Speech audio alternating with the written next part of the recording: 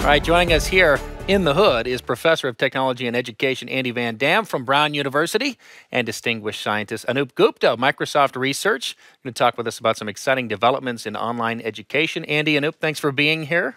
Great Appreciate it. Chris. We're going to have some fun here. We're going to learn some stuff with Research in Focus. We'll start with you, Anoop. I understand you have something pretty cool to show us today. Tell us what Office Mix is. What Office Mix is a incredibly simple way for people to create online presentations. It basically builds on PowerPoint that a billion people use to create a you know online presentation with audio, video, inking, quizzes. Uh, in a very simple way, it provides a web-based uh, experience cross-platform, and it gives you analytics on how students are interacting with what you created. So basically, it is a tremendously simple way to do all of these things that people have wanted to do. This is exciting stuff. So, Anoop and Andy, everyone who's gone to college has experienced, you know, the traditional lecture approach to learning. And you say that lectures aren't the best way to teach, um, which at face value, I think is intuitive because everyone, you know, the old saying, oh, quit lecturing me, right? We, we sort of even associate that name is not the best way to learn something, right? So there are many studies that have shown that the sage on the stage model, in some mm-hmm. sense, is not a very effective way to learn. Uh, You know, some work that Carl Wieman has done, who is a Nobel Prize winning physicist in the science and STEM education, where he's focused on, shows people get around 30% of the concepts that the professor intended for them in the lecture style model. And it comes from a couple of things. One is lectures can quite easily, in many cases, become pretty passive experiences for the students, and that's not a way to learn. And the second thing is that, you know, as the professor is going, if you miss something, mm-hmm. there's no way to catch up before you, the next concept comes. So if you get lost in some place, you're maybe lost for quite a while. Sure. And probably many of our audiences here have experienced that. Yeah. Yeah, and Andy, I mean, you can talk to that. I mean, we're kind of living. I have a seven-year-old daughter and a four-year-old daughter. They don't even know what rewinding the old-fashioned way is, right? We're kind of in an on-demand world. I want it now. I want to rewind things. I want to pause things. Yeah, uh, I've been recording my lectures for much more than a decade, precisely so that students have a chance after the class is over to look at the materials at their own speed and very selectively. They don't Right. need to hear the whole lecture again. They just want to go to the place where they had some difficulties. And Mix gives you a really good way to do that kind of review. So you guys have proposed that blended learning is a better way of teaching. Uh, and so talk to us exactly about what you mean by blended learning. What blended learning to me, uh, in a simple way, means to use technology and the humans in appropriate ways. So if there's a broadcast lecture mode that you're doing, you know, you could watch that at home.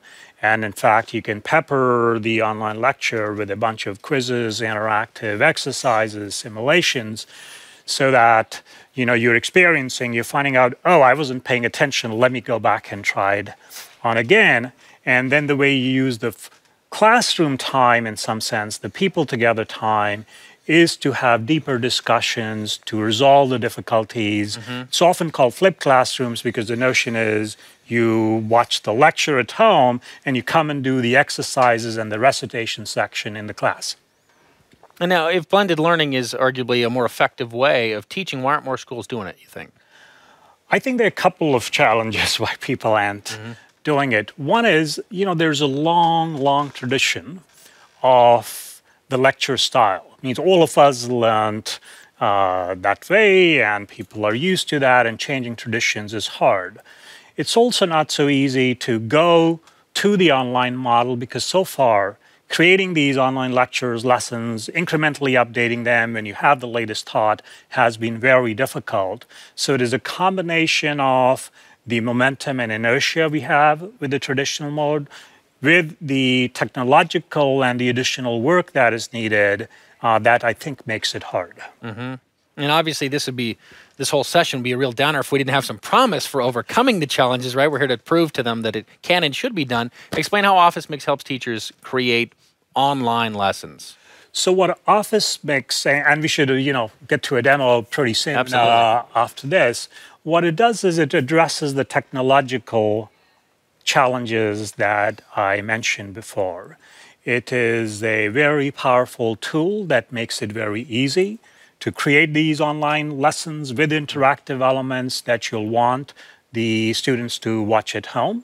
It gives you a very easy way to share with the students, regardless of the kinds of machines or phones that they're coming with. Mm-hmm. And finally, an important part of blended learning is that the professor gets feedback to say, what did they get right? What did they not get right?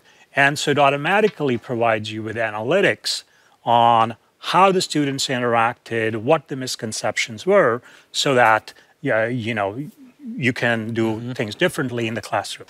And we're going to jump into the demo, but Andy, as a professor, you can speak to the fact that, uh, as you sort of indicated, sometimes the biggest thing holding people back is just change. Like, I already know how to do this. I already know my lesson plans, and I've got my books. Why would I want to learn a whole new computer system, right? Is it as daunting as it would appear? Yeah, it is daunting, and most of us don't have the time or the patience, the bandwidth to do it, frankly. But the thing I really find impressive about Mix is how fast you can leverage what you already know mm-hmm. how to do, which is to make PowerPoint presentations to add this enrichment material. Mm-hmm. It was essentially painless to learn how to use it. Five minutes. Okay. You can't ask for more than that. And I'm sure a lot of people watching online are saying, prove it prove it if it's that Do easy. the demo. okay, us. so let's go. So the first thing is, you know, Mix is publicly available and mm-hmm. it's free of charge. That's great. So those of you who are listening online, go to mix.office.com or you know and you can find and see and in fact you'll be seeing what you're seeing so the first part is there's a public portal okay. out here oh, i didn't want to go there so let me just go back for a second um, uh, here. So, you know, so there's a bunch of lectures that you'll see. It's a public portal sure. where you can go and see. Then in the public portal, you already see a lot of lessons. And I want to take a couple of them and share with you there what we can do. My machine is uh, having a little bit of difficulty actually scrolling, so this is not the one that I wanted really to nice. show. So you're gonna have to wait for me on the online part. Okay, that's part of the curve. That's know. that's part of the curve. That's just basic simple interaction. So I want to take you to this Ohm's law lesson that a colleague of mine at Microsoft Research created. And this will show you how inking, audio video narration, quizzes, and some of the labs can be included. Right. So let's go there if I can click. So here we are. Uh, you know, so it's just loading. You can see it's full screen, beautiful. Inking is happening. And uh, you know, hopefully you can see the audio and the thunderclap yeah. and interactions that are taking place. You know, you can see out here, I'm seeing the tables of content and I can go and you know, jump around within that. So you can see I just, you know, went into a slightly different part of it and you will see inking taking place. You know, this is the nine volt battery. You can actually speed it up in the control that you out, see out here. To do that, you can embed videos inside it. So let me quickly actually jump into the next video. So, you know, to keep high schoolers or freshmen excited. So, you know, this is some fun activity. Got to put in a piece of video, sure. okay, that is there. Now, next, what you're seeing is an interactive lab. You know, Microsoft Research has been working on this technology called Touch Develop, which allows for labs to be there. So this is, you know, you want to understand the resistance. You want to see, you know, as I increase the voltage, what happens as I'm increasing the voltage. And, you know, this one is, hey, if I take it beyond 10 milliamps, then it's going to you know, go and crash and burn. And so if I do that, you know, boom, you see the hmm. sound. You can embed quizzes inside. So let me just take you to a embedded quiz inside. Um, so, you know, here you see a quiz that's going to pop up. And every interaction that I'm doing with Mix right now is actually getting recorded in the back end so the instructor can see how much students spend time on mm-hmm. what portions, where did they have difficulty. They can see that I chose this as an answer, and when I submitted, that's incorrect, and that you know I took a second try to get the answer right. So you know all of this information is available. Mm-hmm. I also did a quick, um, you know, lecture, which is the tour of the mixed uh, capabilities. And then what I'm going to show you is create this live for you what I just did. Wow. Okay, so we're going to go in here and uh, let's start watching this office mix. It's being a little slow on the into features of Office Mix. Okay, so you can see, you know, I was just recording that there are three primary components, to the Office you know, Mix to the video that is The there. You can have authoring within PowerPoint. Uh, you know, there's a portal. So I'm going to skip around a little bit. So here we show, you know, some inking again and all of the nine different capabilities that we provide inside of Mix that people can do. Uh, and then I'm going to go and start going. Quizzes we have already seen, so I'm going to show you some additional things that we can do. So let me go into the next one. So here we have, if this will go across on the network a little bit, I wanted to show you, basically here we have embedded a Khan video uh, inside uh, of our mix, and you know, so all of the standard Khan Academy stuff oh, you works. know, how tall are okay, I have embedded a Khan Academy exercise inside. So I'm just showing you all of the different kinds of, you know, interactables, and I can move these dots around, and the whole thing changes. I can get a hint. These things as another thing that I put inside. So this is from Colorado, University of Colorado. People have built some really interesting simulations. And so if I can drag these things here, I can hit go. And you can see that, you know, pulley, if I put two people. So again, all of this is being recorded, or I can show you one more thing, and then maybe we can uh, uh, go. So this is a Python lab. So one of the most popular languages that is there today is Python, you know, that people are trying to learn. And I can go and code, and all of the simulations here, you know, are working. If I can, again, my touch is acting, you know, so all these stepping through the exercises can be done. Wow. So all this interactivity embedded inside Yeah. the lessons that you create, as simple as inserting clip art. So let's go and try and create something like this. Okay, we've got less than a minute. You give us the quick tutorial. Okay, so basically inside PowerPoint, mixes an add-in. And if you go to the portal again, mix.office.com, you can go and insert it. And within the Mix, I have a bunch of things to record audio, video, inking, add quizzes, etc. So let's go into record. And this is where, um, you know, I'm going to make some of the additions. So what I'm going to do is essentially, as I was doing before, okay, I'm going to make some additions. So I'm going to go to record. And here in recording, I can say, uh, hello. I'm having a little bit of difficulty with my pen here. Of course, because I told you to hurry. That's why. you got all this pressure mounting. Okay, so you know I can ink out there, and I can uh, you know have all of my uh, animations here coming up. And as I'm doing the animations, if this was working, you will actually see my inking uh, working out here. So the, all of these things I can do. So right now, actually, what we will see is this video and audio is recorded. So here I hit the stop button. My whole touch is acting very funny. Well, that's what happens when we Uh, clean yeah. your surface for you. We, we want to make it clean for TV. So, and so you know, so you know, the recording is there, and I can preview what is there, Yeah. and you know, you can listen to what I just did, and I can move them around. So I can stop the preview here, and then let me close here.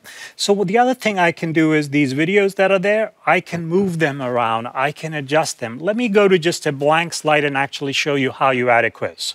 Okay, as a basic thing. So I go to this section that I call quizzes and videos and apps. And as you will see here in the store, there is a wide variety of applications that we have that you can add. And I will just go to a multiple choice quiz here and select that to add. And, you know, let's take something like uh, what is the nickname of Seattle, and I will not worry about my spellings right now. I'll say shuffle answers, and I can say Emerald City. I can say the Jet City because you know we have Boeing out oh, here. So there's a variety of you know combinations I can put, and then just with a single upload button that I have out here, I can publish it, and you will see the kinds of explanations, you know, that were there, and then we can get analytics and usage. So let me stop there. Given Yeah, the no, that's short. brilliant stuff. You've shown us it's really quite Yeah. as, as simple as PowerPoint. Obviously, much more sophisticated. I can see how students would be much more engaged. And because I know we've got some online questions asking, but what about from the teacher side of it? You said you've got the analytics built Yes. in. You can see the completion Yes. rates, what they're focusing on, when they're stopping, all that stuff, right? Yes. That's fantastic stuff. Guys, thank you. Andy, and Anoop. Uh, a better way to teach. Hard to deny that. Uh, where should folks watching go if they want to try out once again Office Mix? mix.office.com is where they should go. And just to close, I think you might want to look at what are some additional uses, how grad students might use it. Andy? Well, for example, uh, we all give talks, and usually what we do after the talk is over is we put our PowerPoints or a PDF on the web, mm-hmm. and that's not a very good record of what you actually did. With Mix, you can get the entire live sec- session, you can see the annotations come up, so it provides you with a much richer record. And you can use that same style, for example. All of us practice our talks. Mm-hmm. I make all my students go through at least several of those practice talks. Well, this is a wonderful tool for, again, live recording and then together reviewing and saying, that didn't quite work, you need to fix that slide. But not on the basis of your memory, on the Yeah. basis of what it Yeah. remembers. Great stuff. So it's good enhancement. Well, we thank you, and the teachers thank you, gentlemen. We appreciate your time today. Thank you.